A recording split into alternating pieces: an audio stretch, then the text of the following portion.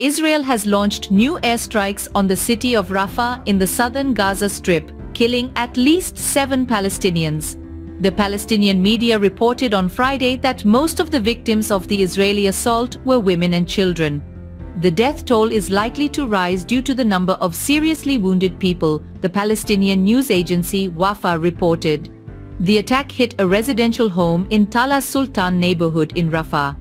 It comes as the Israeli military is preparing evacuation plans for the city in anticipation of a ground offensive. The United Nations and many other countries have expressed grave concern over the offensive.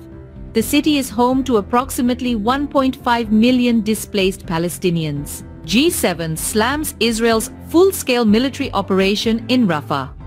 Foreign ministers from the group of seven nations said Friday that a full-scale military operation in Rafah by Israel would have catastrophic consequences on the civilian population.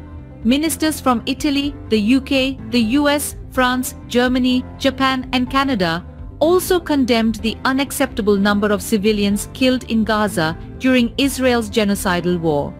We reiterate our opposition to a full-scale military operation in Rafah that would have catastrophic consequences on the civilian population, the minister said in a statement. Israel has faced growing global rebuke to the relentless genocidal war that has reduced much of Gaza to rubble. We deplore all losses of civilian lives, G7 ministers said at the meeting on Italy's island of Capri. They said they note with great concern the unacceptable number of civilians including thousands of women, children and persons in vulnerable situations who have been killed in Gaza? A decentralized hacker group says it has managed to break into the Israeli military's computers accessing a trove of top-secret documents. Anonymous, as the hacker group identifies itself, announced the development in a video message, which was reported on by various media outlets on Friday. It said it had laid its hands on 20 gigabytes worth of data and a quarter of a million documents, including PDFs, Word files, and PowerPoint presentations. The military, however, dismissed the breach as minimal, claiming that the hackers were engaging in psychological warfare.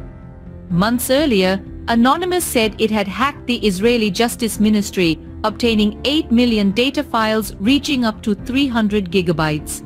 The Israeli regime has come under numerous such cyber attacks since last October, when it unleashed a yet ongoing genocidal war on the Gaza Strip. More than 34,000 Palestinians, most of them women, children and adolescents, have been killed so far during the war that was launched following a retaliatory operation by the coastal slivers resistance groups against the occupied territories.